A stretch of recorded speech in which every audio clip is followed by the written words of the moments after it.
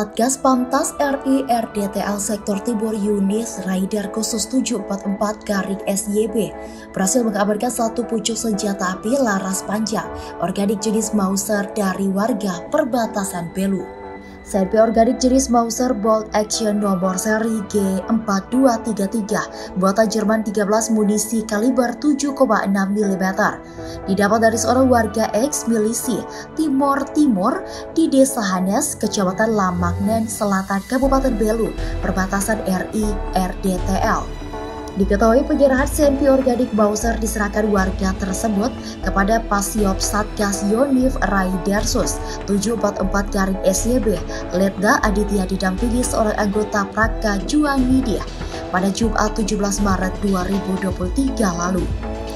Dan Satgas Yonif Raidersus 744 Garing SYB Letkol Yudi Yahya yang dikonfirmasi media membenarkan adanya pengamanan satu pucuk senjata api laras panjang organik jenis Mauser yang diserahkan secara sukarela oleh warga di wilayah Lamagnen Selatan.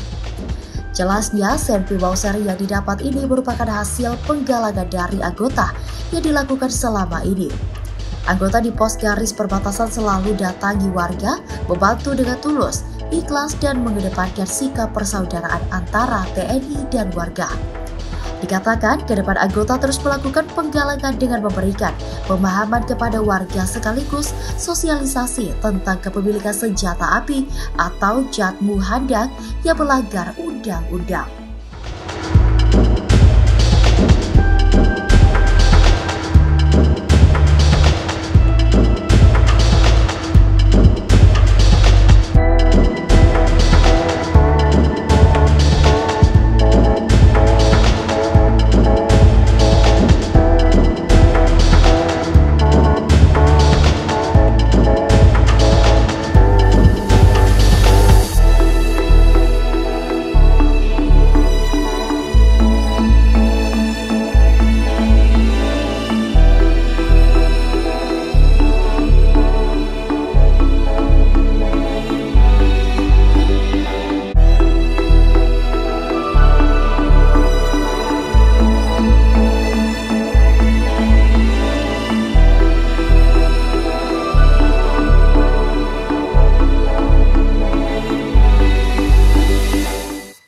Terima kasih sudah nonton.